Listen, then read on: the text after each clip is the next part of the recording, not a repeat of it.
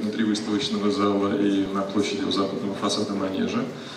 Нам э, кажется очень важным не только знакомиться с искусством визуально, но и если есть такая возможность, то и, и говорить о нем. И особенно ценно, если этот разговор происходит э, с художником, который, собственно, тоже является э, достаточно тесно связанной с культурой стрит-арта. И это как раз та культура, которая не привязана к локальному контексту и, и, и воспринимается, я уверен, многими как часть некого такого мирового художественного процесса. Э, перед тем, как я представлю э, художника, я, конечно, хочу поблагодарить Генеральное консульство Израиля, при поддержке которого, собственно, происходит эта встреча. Это очень важно, и Ольга Слов, она, может быть, скажет пару слов тоже сегодня. Э, также компанию Мегабайт Видео, которая, собственно, помогает нам тут с видео съемкой и резиденцию Дашков. Это необходимые, но тоже очень важные слова, потому что без этих наших партнеров встреча, если случилась бы, наверное, не была бы такой интересной. Сейчас представляю вам э, художника, клоуна. Да, наверное, это будет правильное, правильное представление. Он э, приехал к нам из, из, из Тель-Авива и те его работы, может быть, вы уже видели в Инстаграме или где-то, они очень, очень яркие, необычные, интересные, и, и встреча, я надеюсь, будет точно, точно такой же. Тогда, если Ольга захочет сказать пару слов, Ольга, да? И сразу после этого мы передадим э, слово Игорю, а также Клоу.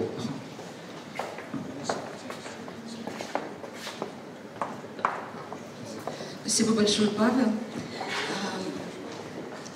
Ну, я могу только сказать э, к тому, что уже было сказано, что я очень рада, что э, это важное событие в культурной жизни э, Санкт-Петербурга проходит сейчас с участием израильского художника. Я думаю, что это большая честь и для нас, и я очень рада, что такое сотрудничество завязалось. И я рассчитываю на то, что оно будет продолжаться и, и развиваться. И здорово, что происходит оно, происходит это все в год, когда Израиль отмечает 70 лет своей независимости, и это еще одно событие, э, которое мы, эм, э, с помощью которого мы можем показать свое искусство, свою культуру э, жителям Санкт-Петербурга. Так что большое спасибо за сотрудничество. Итак, я передаю микрофон.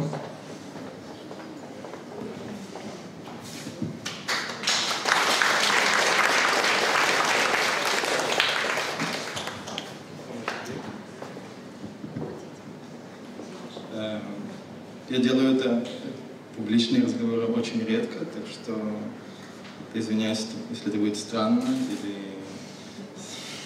немного э, непонятно иногда. И лекция, разговор будет тоже на английском, так как я, мне кажется, мне немного не хватает, не хватает слов на русском иногда, так я уехал очень рано. Так, э, э,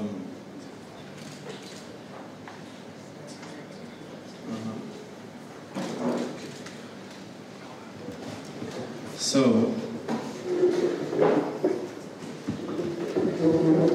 I have this in the background just to kind of distract you while I'm telling you some of my story.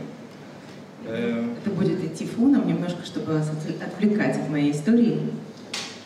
Um, I immigrated to Israel at age of 11 from Ukraine.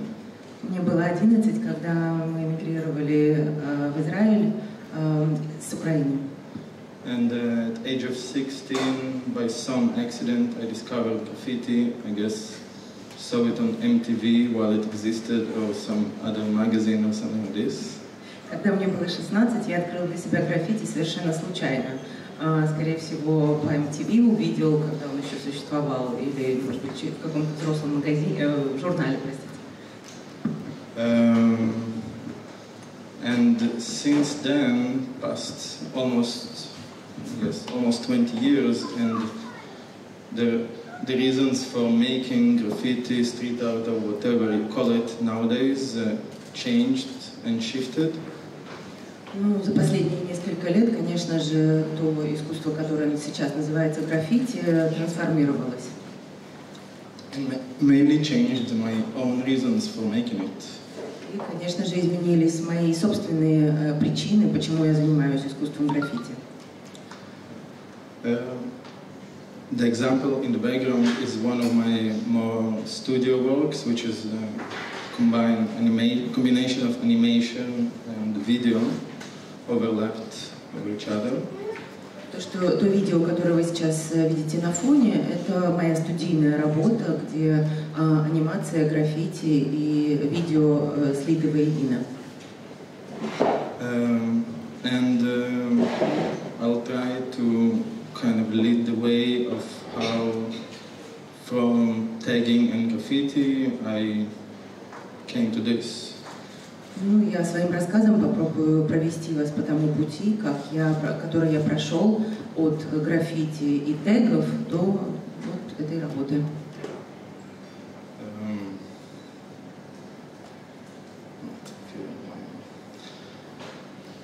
um,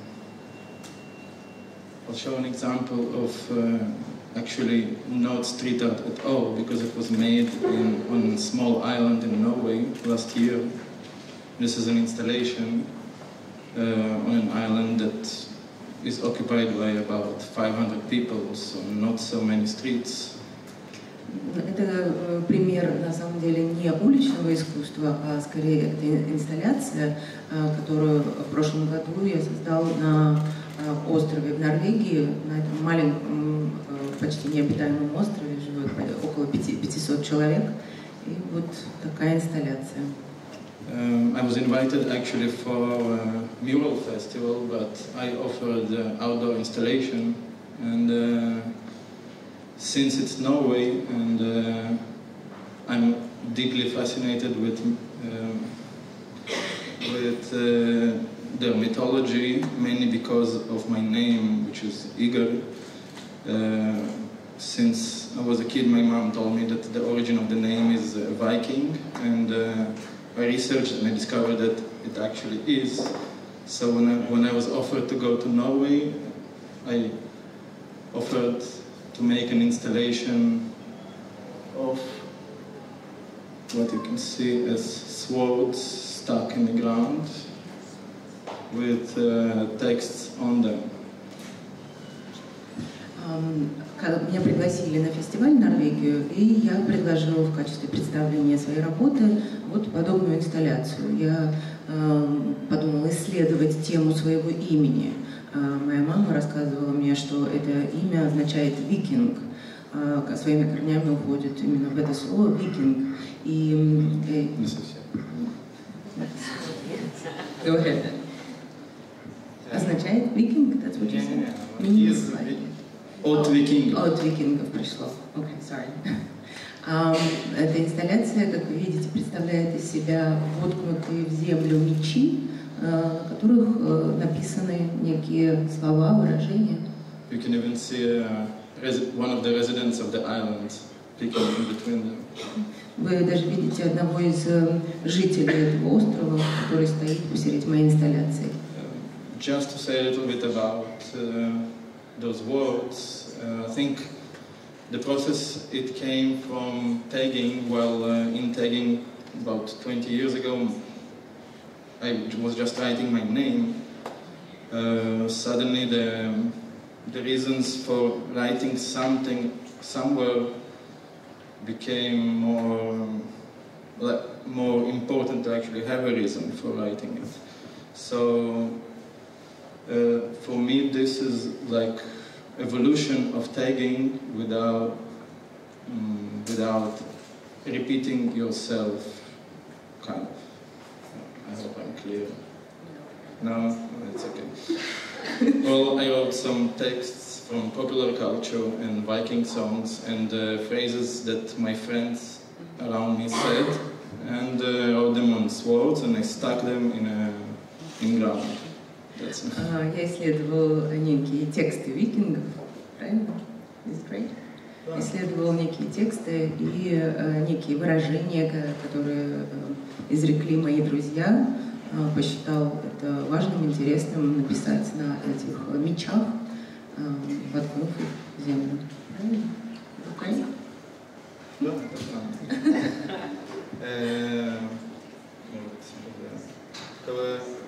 Э. Вообще мне просто было интерес, мне интересно, насколько популярная культура, э, есть фразы, что просто застреют в нашей памяти, и как они, насколько они влияют на нас, э, что мы запоминаем иногда фразы из каких-то песен, э, или просто что-то, что какой-то знакомый сказал, и это был процесс, как, э, можно сказать, по, и похоронение, и...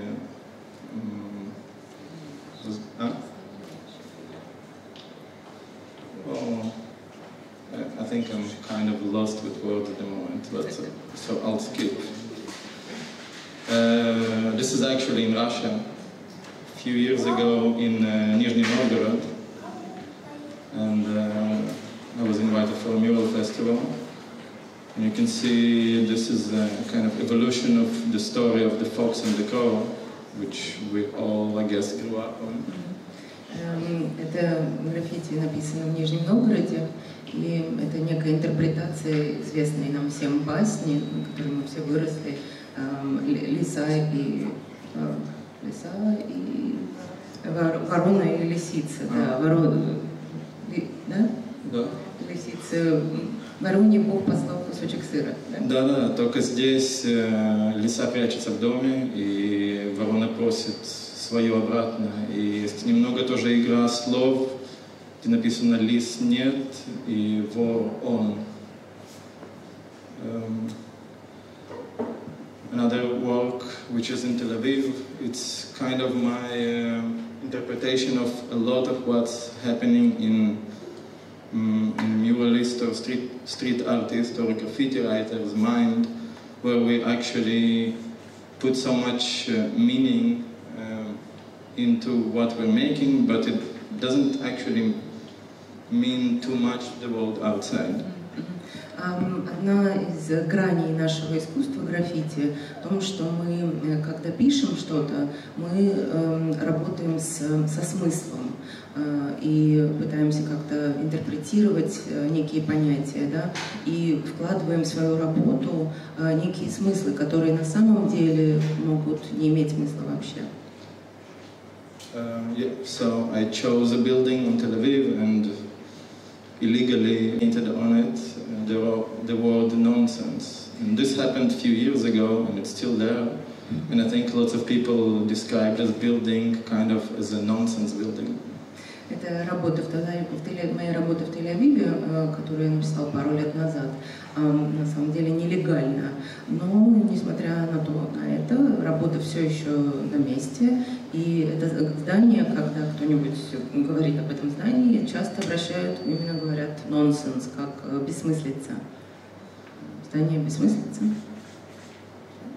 Здание бессмыслица, рисунок на стене бессмыслица, вообще вся весь этот акт это иногда совершенно бессмыслица. Um, another work which is in this in this same neighborhood, but what, and also was made illegally, even though it's on a four four level building. Um, this is a silhouette of the horse, which rep represents the working class that was present in this neighborhood, which is now mostly occupied by artists, and in a way, I guess, on its way to be fully gentrified.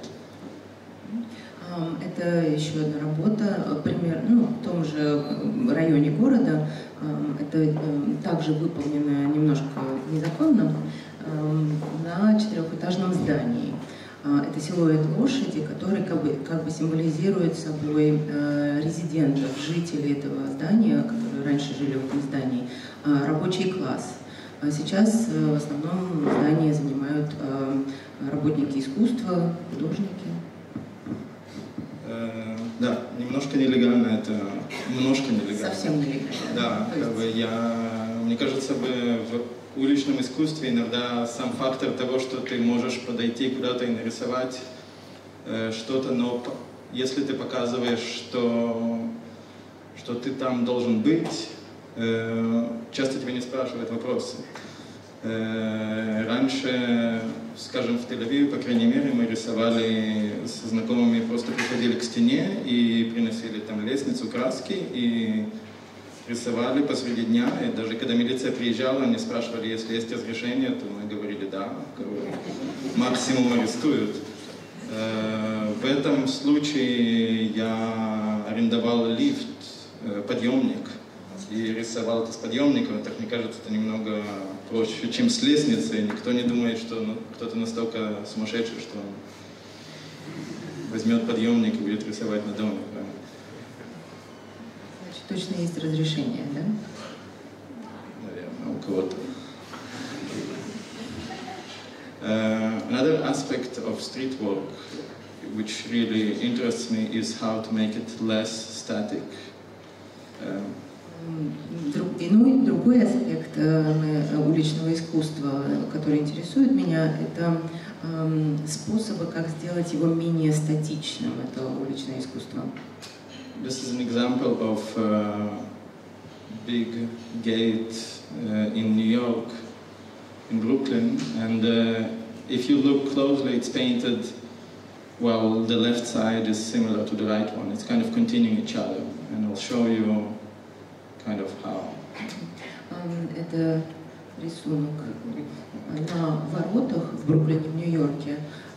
И если вы обратите внимание, то по сторонам рисунок одинаковый, да, и вот, вот анимация показывает, что он повторяющийся рисунок. So the animation was made in the computer, but uh, it's kind of a way to show the painting in a, in a new way. Анимацию я создал на компьютере, но это такой некий способ показать рисунок в новом свете. Um, I think because of being an immigrant and because I guess at this point traveling a lot and uh, not necessarily feeling belonging to one place, one of the things that uh, interests me is how our our memories define us. And one, in, in a, when I looked how to express it in a graphic way, I looked, I uh, uh, started to put uh, kind of topographic lines on my on different characters of mine, and this is one example of it. Сам, будучи иммигрантом, а позже много путешествуя, я задумался о том, как наши, наша память э, формирует нас как личность. Э, и э, немножко... Ah, clicking through. Нарисовала некую топографические линии нашей памяти. Was it your memory? Topographic lines. No, topographic lines is... Uh, if we're looking at the map, Uh, especially drawing of a map, then there's topographic lines that define different heights and как бы на, на, наша память это топографические, топографическая карта нас как личности. Ну, я думаю, мы сами становимся картой. Некой топографической картой своей жизни, да. Uh, another symbol of this kind of memory that I have in my practice is trees. And here you can see silhouette of trees. This is in New York, in Manhattan, and it's painted in a neighborhood where the closest trees are in Central Park, and it's quite organized and cultivated. Важная часть моих воспоминаний – это деревья. Я написал эти деревья в той части Нью-Йорка, где до ближайшего дерева многие мили. Как раз дерево, ближайшие деревья находятся в Центральном парке, который очень хорошо развит, и за ним ухаживают. А эти деревья в середине бездревесного района. Да, примерно. Это был эксперимент показать, э, это больше как память этих деревьев, так это силуэт, который люди видят из своих офисов, из окон, и здесь у нас сфотографировано сверху. Э, пытаюсь рассказать честно русскому. Э, еще, если еще пример, то один из персонажей, который у меня повторяется много в моей практике, это лиса, и также вороны, и потом я покажу тоже еще других. Это персонаж, который, он, разные персонажи, которые считаются немного как underdogs. Их не любят, им дают какие-то спецификации, которые негативные. Эм, Недооцененные. недооцененные, мы виним их в чем-то, черный кот перешел дорогу.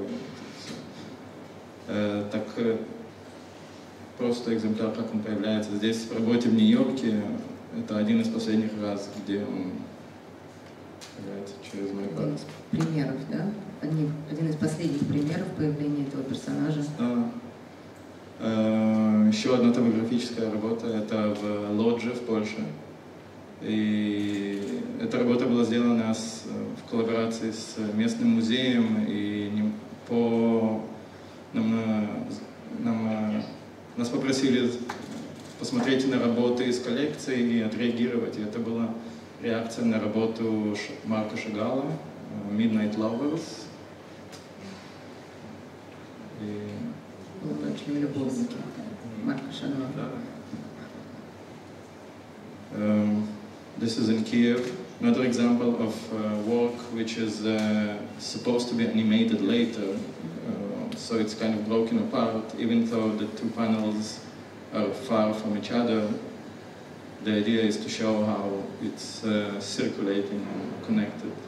Эм, Это работа в Киеве э, написанная, и несмотря на то, что панели разведены в пространстве, э, это идея в том, что э, эта работа станет тоже частью анимационного какого-то окончательного продукта. Вот так это должно выглядеть. Um, I think I'll click through some works. Я просто пролистаю некоторые свои работы. This is in Haifa. Um, Это в Хайфе. Haifa in, in Israel is considered to be one of the beautiful cities, but it's also... Хайфа считается одним из красивых городов в Израиле, э, но он тоже считается одним из очень сонным, го- сонных городов. Там э, это просто... Это настолько смешно, что я из Тель-Авива, это как раз наоборот. спальный город. Э, Он просто сонный.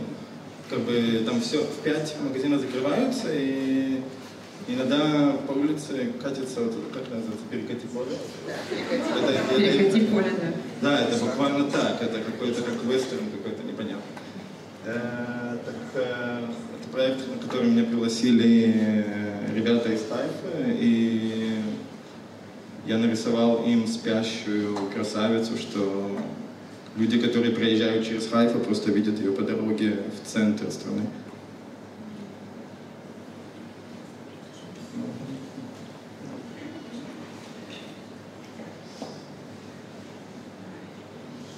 Okay. Yeah. So this is uh, actually a work that started this personal topography style. So this is in Montreal. Uh, you can see it both on the right and left in different seasons. I painted it in the summer, so the picture on the right is when I painted it.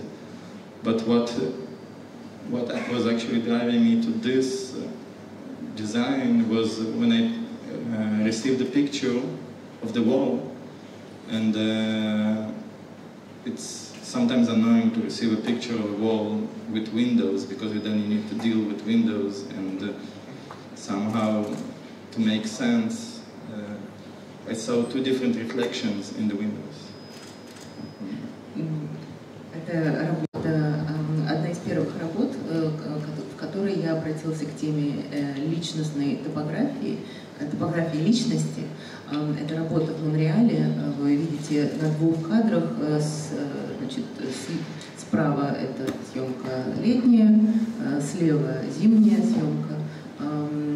Эм, И когда я получил фотографию этой стены, конечно, э, расстроился немножко от того, что там эм, окна на этой стене.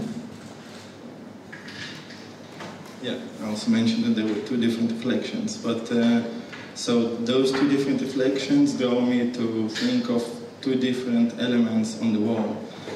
And those uh, windows became uh, the faces of characters with the reflections always changing through the day. So the face of the character is changing depend, depending on the time of the day and depending on if someone is looking out of the window and whatever is happening. Э, Как вы можете увидеть, э, э, стё- э, стекла окон, они с отражающей поверхностью. Эм, Я выбрал эм, именно эти, стекла, именно эти окна э, как лицо этих персонажей моего рисунка. И в зависимости от происходящего, день, ночь, смена сезонов, да, как бы меняется лицо моих персонажей. Um, so this is a legal work, but I'll show one another one that is, is illegal and was driven uh, in Tel Aviv. I make mainly illegal works. I think many, for many years it was illegal. Uh, for many years I was even offered to do legal works with municipality, but I always declined because uh, I grew up as a graffiti writer and as someone that sees this city as a platform for for doing whatever I want actually. Эм, Это одна из э, работ, которые я сделала легально, законно. Нелегально. Эм, Нелегально. Вот это в Нелегально. Монреале нелегально. В Монреале легально, это нелегально. Да. Это, которая в Монреале была, она легальная? Ага. Да, законная. Да. А, Наверное, в- не в- спрашивай. а то, что в, Израиле я пишу граффити, они незаконные. Несмотря на то, что мне предлагали а, работать законно, по заказу, правильно, я отказывался именно в связи с тем, что вижу искусство граффити как а, э, некую свободу выражения и работы именно там и с тем, что, что я хочу делать. Uh, one of the things that um, really interests me in work is actually to make sense. So I'll be passing in my own city, I'll be passing by a wall for years and thinking of what can can be done there. So this is the difference from me being a graffiti writer and just coming to the wall and writing my name. And nowadays it's sometimes a few years of planning until deciding what's gonna be on this wall. Mm-hmm. А, э, В, моем ис- э, в моих работах э, я стараюсь все-таки создавать и передавать смысл. Много лет, э, проходя мимо одной и той же стены, э, я часто обдумывал, что могло бы быть на этой стене. И э, трансформировался от просто подойти к стене и написать свое имя более сложным работам, которые также влекут прежде всего э, некое планирование и длительный этап подготовки. Uh, the background to this work, which is I called red race, because for a few reasons, also the literal, as you see, there's rats running, uh, but uh, it's also located in uh, downtown of Tel Aviv, so meaning actually lots of offices and uh, everybody's on their red daily red race. Uh, uh, in Tel Aviv, we don't we don't have a subway, and they were speaking about digging a subway for many years, and they started to do it a couple of years ago. So when they started, people started saying like all the rats will come out will come out from underground. Um, it didn't happen, but I, I decided to actually bring the rats out, and those it's hard to see, but those are five six meters high, and you can see them from the train ride every day. А, Ну, на этой стене, как вы видите, изображены крысы. А, Помимо того, что это действительно живо- э, животные изображены, которые бегают там как в своем естественном ам, окружении. Также это символизирует некую крысиную возню, крысиную гонку. Да? Это, да, крысиная возня и крысиная гонка, да. Ам, которая, э, это, э, это изображение, эта стена идут вдоль линии метро, линии э, поездов, электричек, которые идут в центр Тель-Авива, в деловую его часть, да, в которой как раз и происходит символически эта крысиная возня. Много лет в Тель-Авиве обсуждается строительство метро, и многие жители э, против категорически говоря о том, что ну, если мы начнем копать метро, то все крысы вылезут наружу. А я взял и вывел этих крыс уже наружу, на стену, и несмотря на то, что ну, вот на картинке не видно, но эти животные где-то высотой 5-6 метров, их видно издалека и из проезжающих поездов.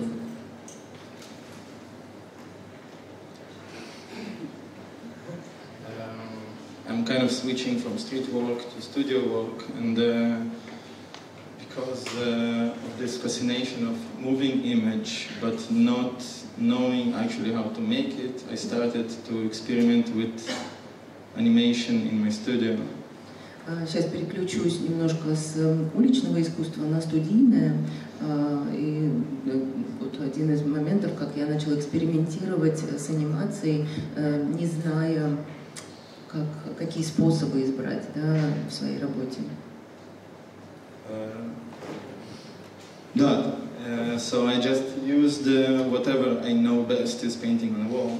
and painting and erasing it. So this was all done in my studio, uh, not while I'm sitting there all the time.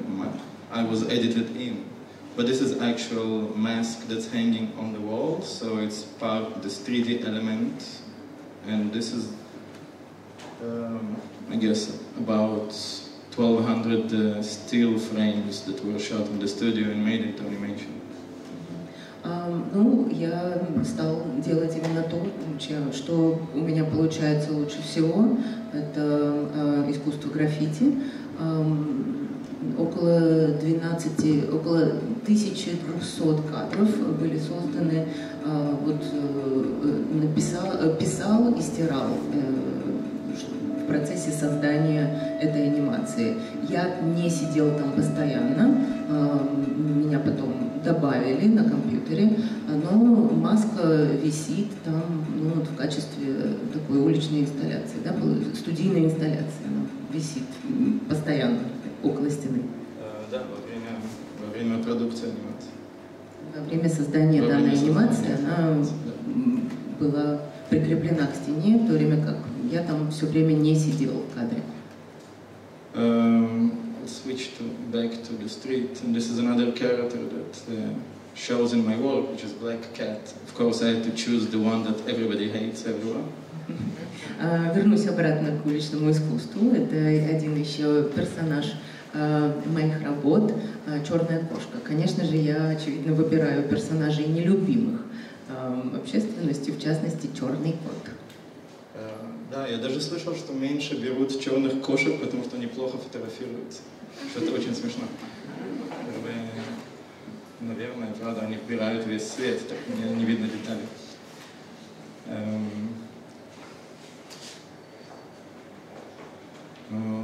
Те же черные коты, так вот примерно так начиналась, начиналась моя анимация, что я начал фотографировать э, людей с э, элементами этих котов, и просто они становились частью этой стены. Э, это в моей студии, опять же, и это привело к моим эксперимент, первым экспериментам анимации. Это, это вторая анимация, что я сделал. И она показывает, опять же, меня, что я стою там. Это был самый простой эксперимент, что я просто одел черный капюшон и стал рядом с этим. И сфотографировался, все сделано было в одиночку, просто поставил фотографию на таймер один раз и рисовал эти элементы.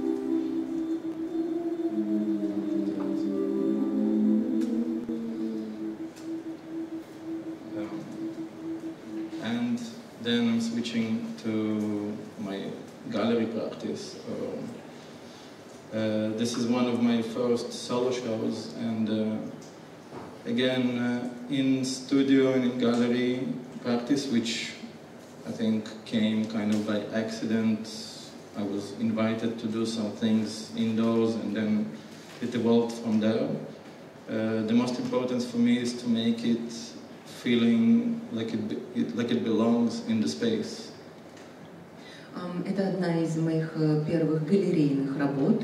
Ну, э, меня пригласили. Это, как и в случае работы в студии, в галереях я тоже пытаюсь создать э, некие объекты, которые будут уместны. Примерно, да. Мне кажется, главное самоощущение. Э, когда я захожу в галерею какую-то, я хочу, э, я не хочу выйти оттуда через пару минут, что очень часто происходит. Я хочу ходить и возвращаться, и мне, чтобы мне было интересно. Также, если мне не интересно в пространстве, которое я строю, то я боюсь, что никому не будет интересно. Так же, как я боюсь, что ни, никто никогда не придет на мои выставки. Не знаю. Наверное. Э,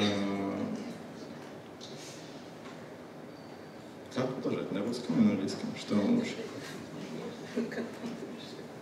Я попытаюсь продолжить на русском, может быть, я переключу на английский. Это пример из э, э, музейной выставки в Тель-Авиве, что было в Тель-Авивском музее. Включились и подключились.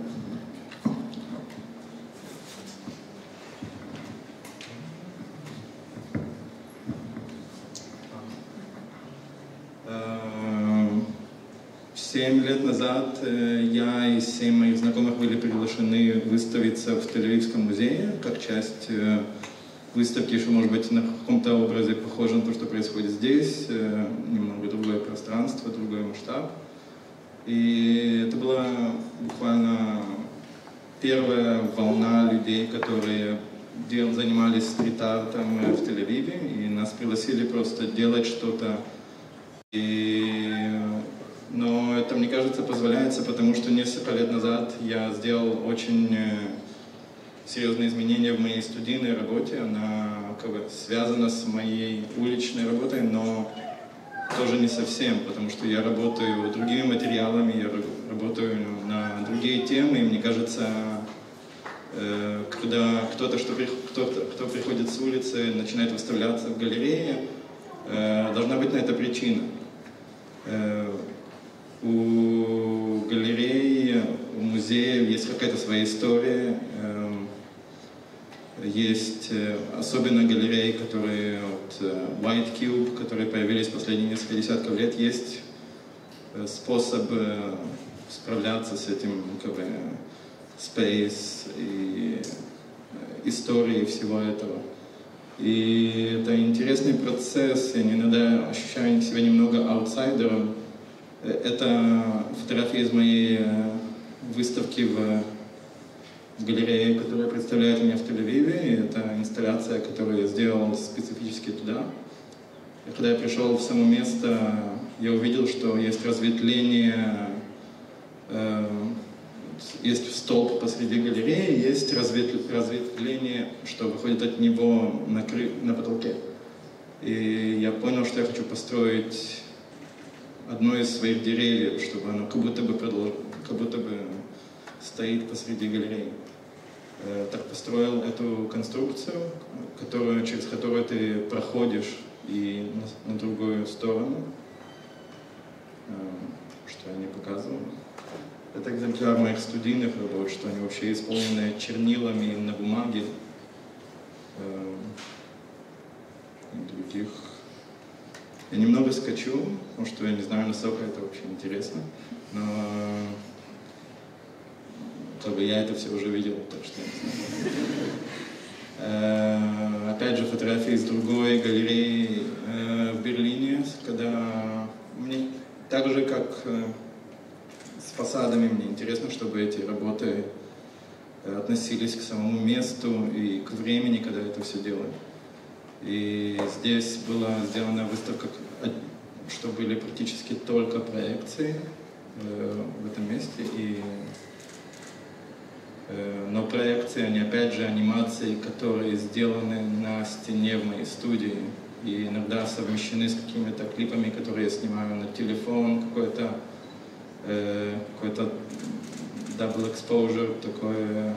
Э, и выставка называлась все Everything is happening.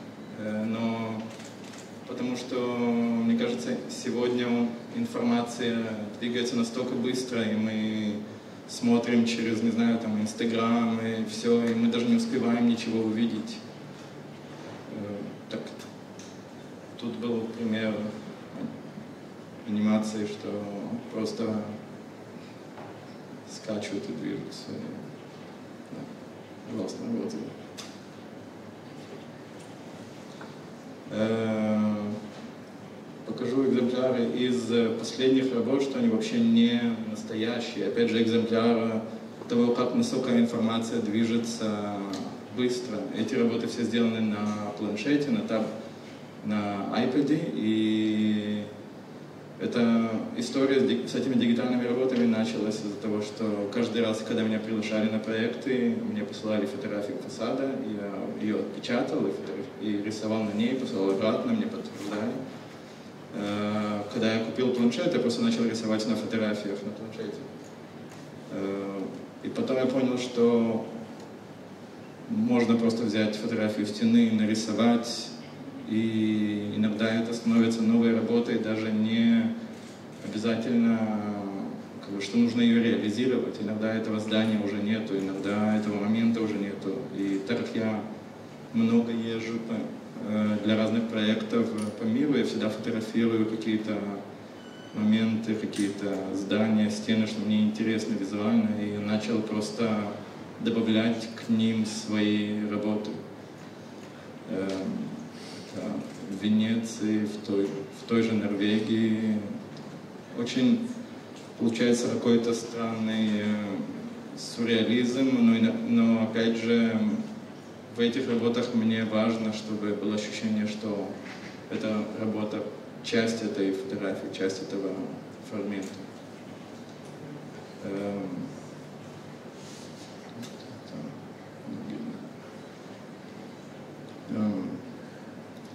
Текст — это что-то, что не часто повторяется в моих работах. Э, здесь вообще здесь написано на, на иврите, написано слово «тимшему», что значит э, «дышите». И опять, это, опять же, эта работа реализирована в центре города, в очень, э, там, где очень много движения, и машины не останавливаются на момент. И мне нужно было написать людям немного успокоиться. Я надеюсь, что кто-то это прочитал и, и, может быть, подумал даже, подумал об этом дальше. Но это, мне кажется, одна единственная работа, которая сделана на, на иврите. Э, я не ощущаю, что у меня есть один какой-то язык, что я контролирую достаточно хорошо, так поэтому я э, тоже в голове есть постоянно какое-то переключение с одного языка на другой. Э, поэтому я просто предпочитаю обычно рисовать но иногда нужно разговаривать с людьми. Кажется, это конец. А, Нужно еще что-то показать, или я слишком рано закончил? Как бы много можно видеть тоже в интернете, на моем сайте. Э, я даже когда-то рисовал в Питере лет семь назад, но кажется, из этого ничего не осталось. Эм, может, вопросы? Могу ответить, если есть. Нет. Эм, да, да, clone yourself.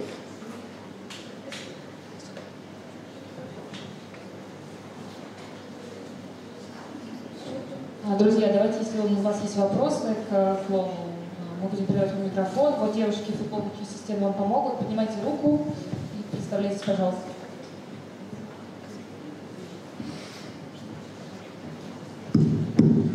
Спасибо большое за ваш рассказ и за ваши работы. Эм, э, стены, особенно без окон, часто в городах вообще очень похожи друг на друга.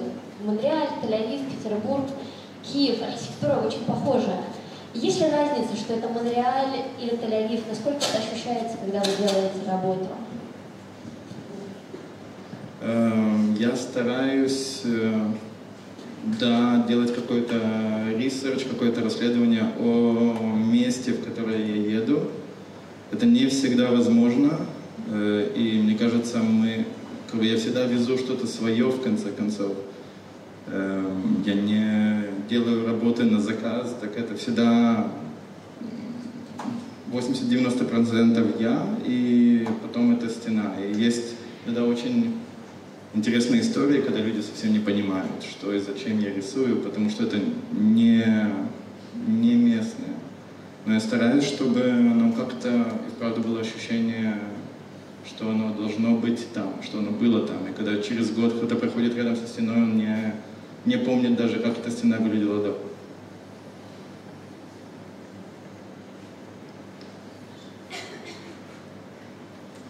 Многие стрит-арт художники. Николай из Санкт-Петербурга. Я хотел бы спросить такой вопрос.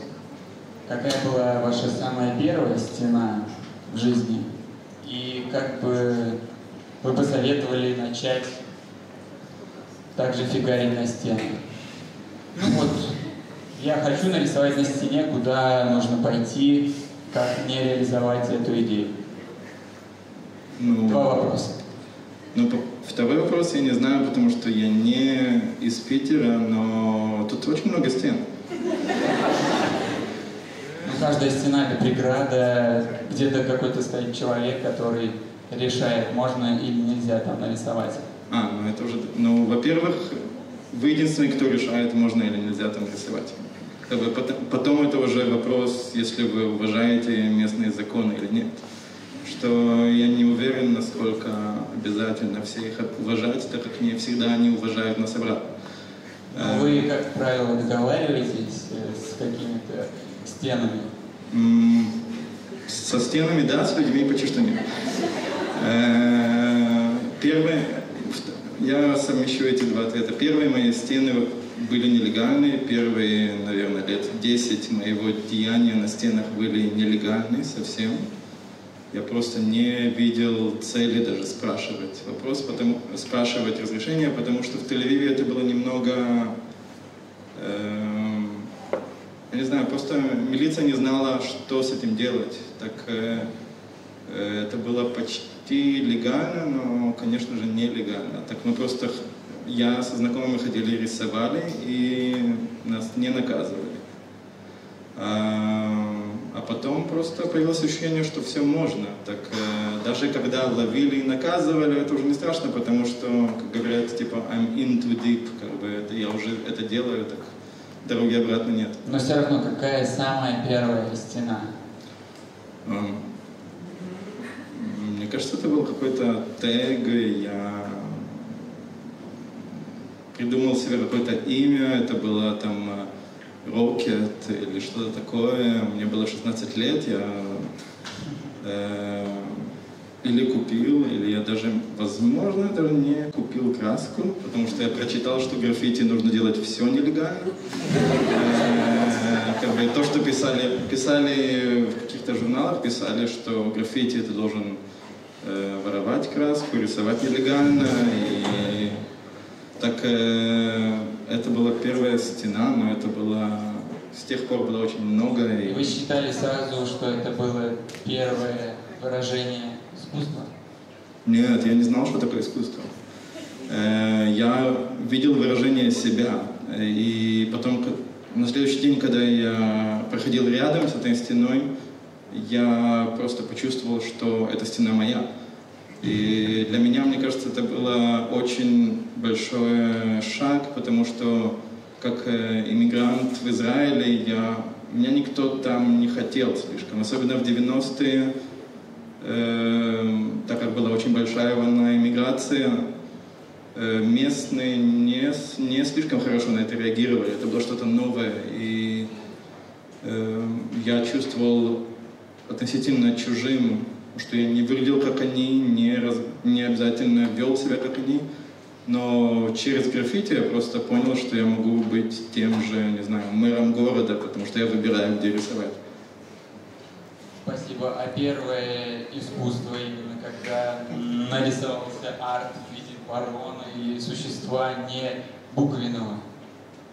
Э, Ну, во-первых, я думаю, что теги — это тоже самое искусство, так что буквенное, не буквенное, разницы нету. Но первое искусство, искусство, я не помню, наверное, когда другие люди начинали, начали называть то, что я делаю, искусством.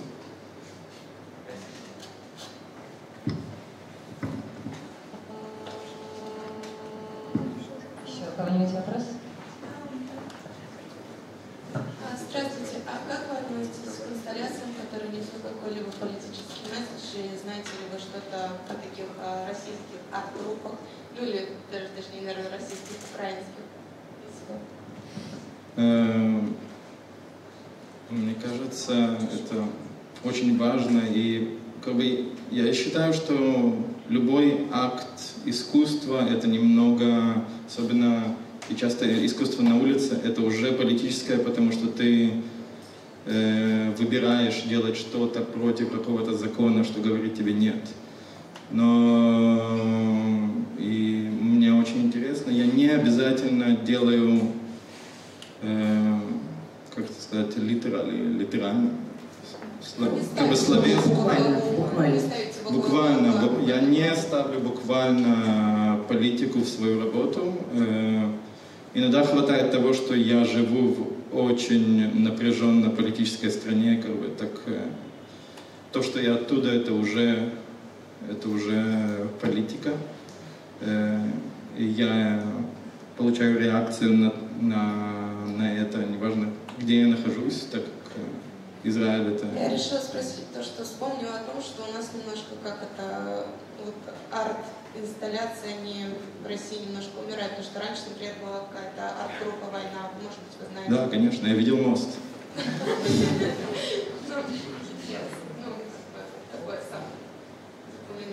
Спасибо.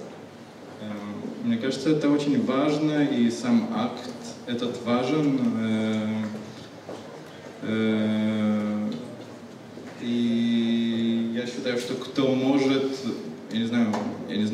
Не сказать сопротивляться, но просто сказать то, что он думает, то даже если написать э, Вася был здесь, это уже политически, потому что он там был, и он э, выбрал это написать.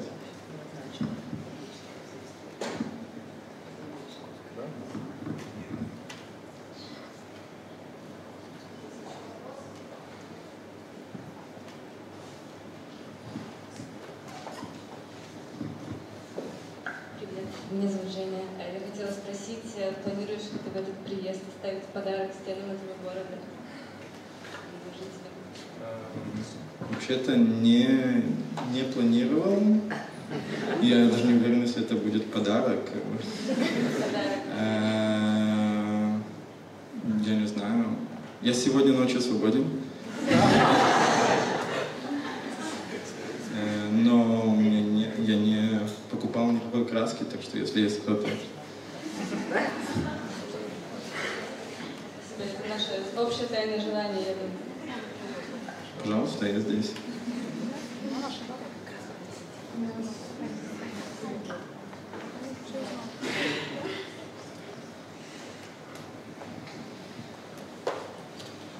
Здрасте.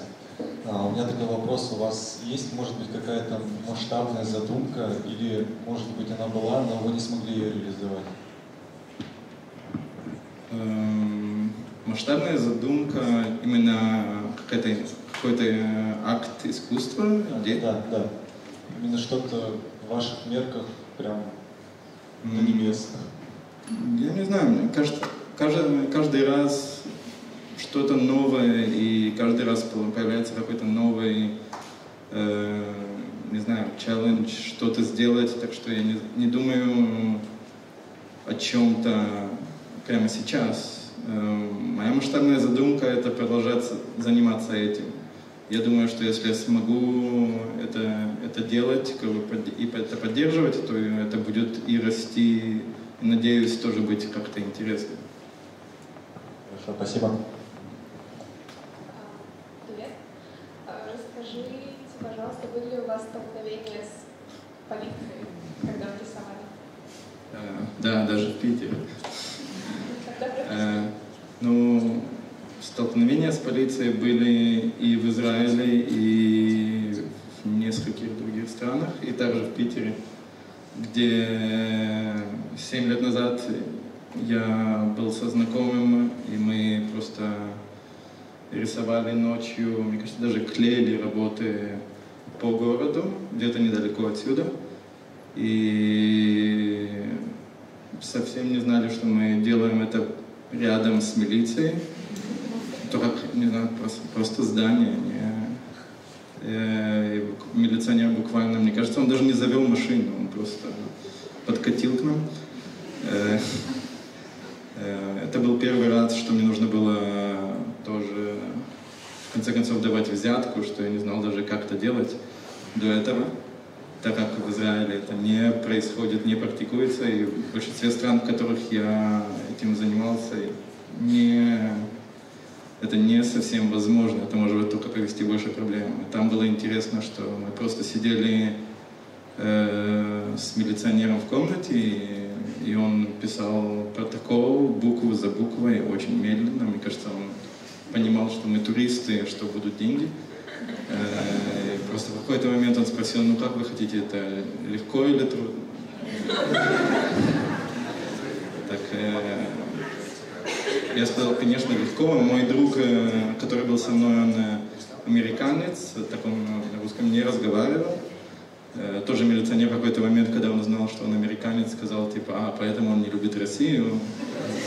Это было, это было очень интересно. Так, милиционер отвел меня в соседнюю комнату, я ему дал деньги, он мне сказал, в следующий раз делайте это не, не тут, а там. И на этом это закончилось. Это был интересный эксперимент и хорошая история. Можно я еще спрошу?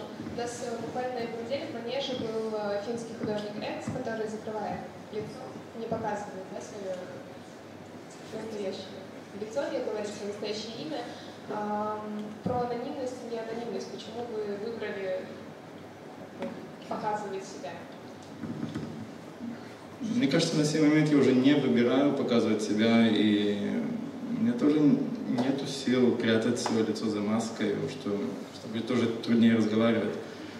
Эм, и тоже сегодня информ... также, опять же, та же информация движет настолько быстро, и также настолько, нам настолько легче найти то, что мы хотим, что кто-то, кто захочет узнать, как я выгляжу, найдет и я не, я не Бэнкси, и мне это не, не настолько важно держать в секрете. Я думаю, что это не настолько важно, как я выгляжу, в конце концов.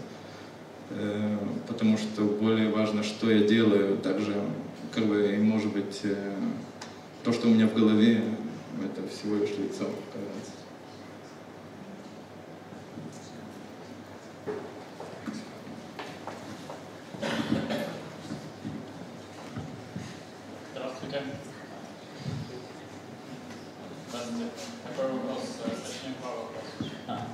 Два вопроса. Первый – это а с какого момента вы поняли, что к вам именно пришло признание? То есть это может быть какая-то конкретная работа была или период вашего творчества?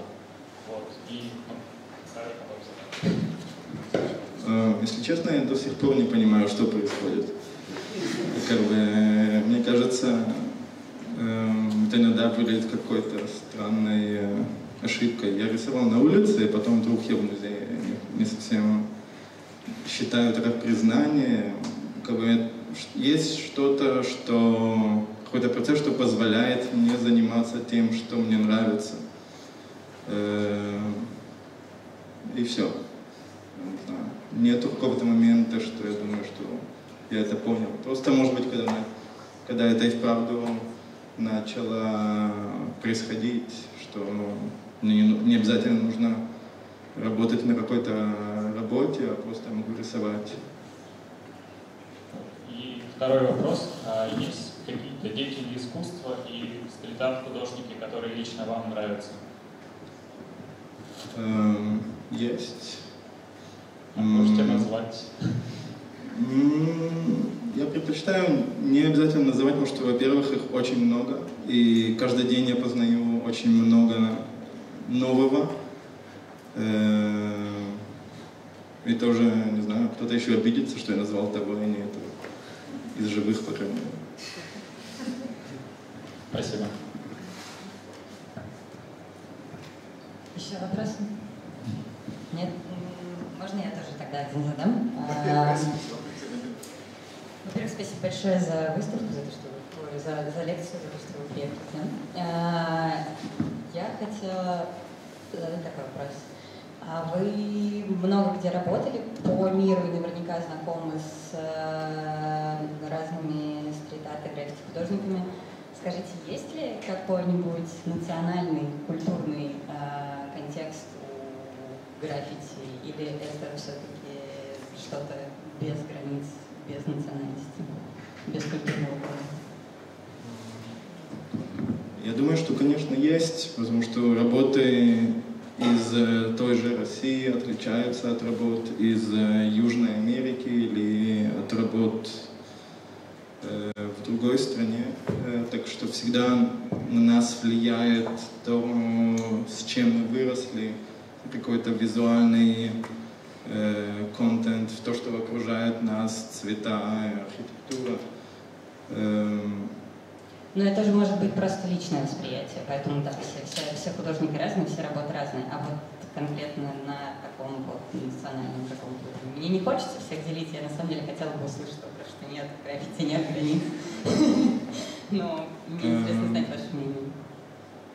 Эм, границ нету, но, они, но мы и вправду выросли все по-разному. Мы выросли с разными какими-то историями, так что ты просто не выбираешь, как как бы тот же, я не знаю, тот же Ворон, э, он э, что-то плохое в Европе, а в э, Южной Америке он значит что-то хорошее. Так это просто не может быть одно и то же. Всегда влияет откуда-то. Спасибо большое. Спасибо. Есть у кого еще вопрос? Вот, на ступеньках.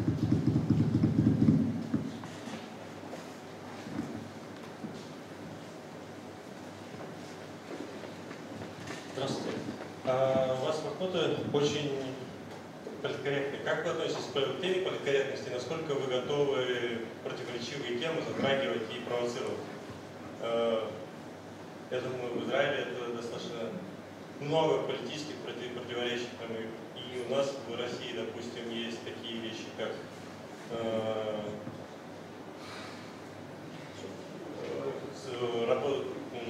вопросы о Боге, вопросы о верующих, вопросы о религии, и их если затронуть, то может быть это не закончится в отделении полиции только связанное с тем, что вы испортили стену, но может пойти дальше. Как вы готовы ли вы рисковать? И вопрос о религии или о чем? А, противоречивые темы. На грани политкорректности, допустим, или тех законов, которые есть в стране. Эм, защита прав верующих, я не помню, как у нас называется, но у нас есть такая вещь, которая может легко простую и безобидную шутку обвернуть в уголовное дело. Эм, ну, скажем, пример той же веры и столкновения с ней в Израиле, это, э, это то, что я рисовал много лет персонажей, с, э, у которых были очень э, такие человеческие, живые глаза. И Э, были пару верующих людей, что ходили и выцарапывали эти глаза. Как бы. Э, я не видел это лично, мне просто посылали даже фотографии, что кто-то стоит и выцарапывает, естественно. Э, я не, я не вижу цели считаться с, с разными теми же радикальными движениями, что иногда та же вера, когда она э, выбирает э, или заставляет тебя видеть что-то так или не по-другому, это немного радикально на мой счет. Э, но э, как бы я не стараюсь быть политкорректным, но я тоже не обязательно высказываю дословно что-то политическое. Есть, есть разные контекст такой в моей работе, но я не обязательно объясню его. Просто если, если вы увидите его там, то он есть, если нет, то не обязательно. Разное содержание моих работ в контексте. Ну. Спасибо. Я думаю, у нас есть время для самого последнего вопроса.